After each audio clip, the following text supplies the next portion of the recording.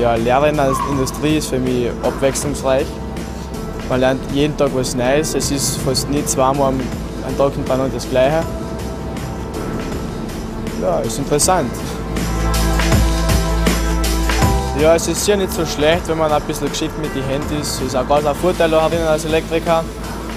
Dann, wenn du tieffähig bist, war auch nicht so schlecht und flexibel muss man auf alle Fälle sein in, einem, so, einem großen, in so einer großen Industrie wie da drinnen.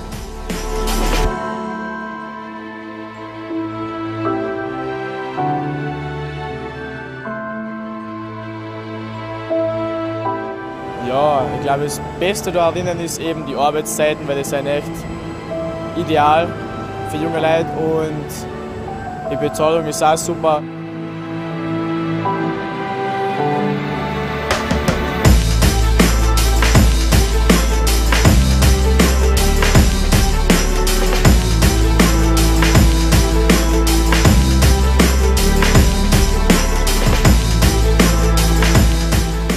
Mir am meisten taugt ist, dass die Gesellen wie Freunde zueinander sein, dass man jeden Tag eben was Neues sieht, was Neues lernt.